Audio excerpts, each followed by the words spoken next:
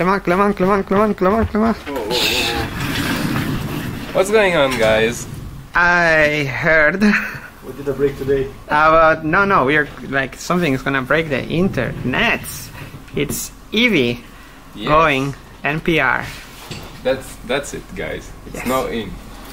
And so basically, what it does is It's a new node. it's a new node, and it converts the um, output of a BSD uh, of a BSDF um, node, and converts it directly to, to a color that you that you can work with.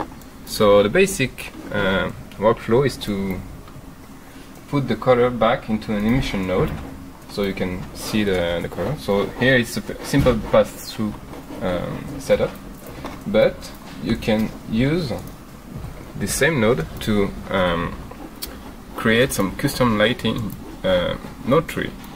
So basically, what you can see What? is some custom lighting done with the, only this node. So you basically are taking the output color and then you're running it through a, a few color ramps. Yeah, or ma- math operations. So I can like do some uh, stuff like changing the the um, the breakpoint, Ah, nice. the mix point, and we can do more than this. We can just mix the the two workflow. Can mix the NPR and the PBR workflow together. So you have a basically a slider to connect NPR with PBR. Yeah, and make adjustment so you can cu- custom customize your look you want.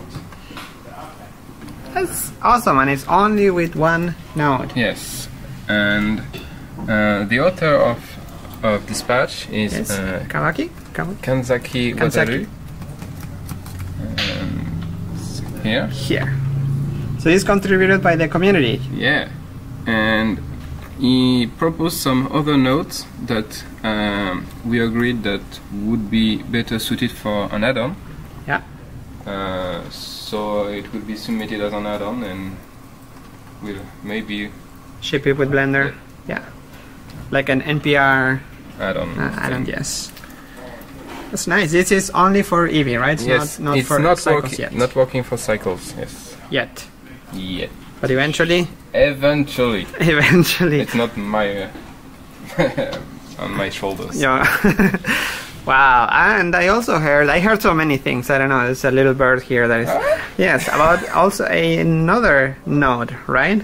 That it was on cycles and now is ported to Eevee. Yes, because uh, I, I wasn't aware that it wasn't working in Eevee, and it's the the ambient occlusion node that Ambient occlusion. that now uh, just display the ambient occlusion uh, factor that's computed with the render settings.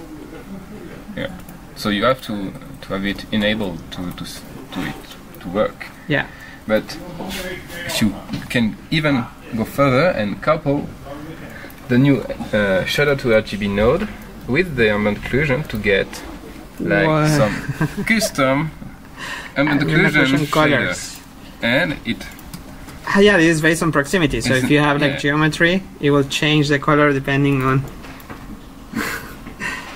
ah, that's amazing. I mean, well, amazing. the possibilities are amazing. yeah.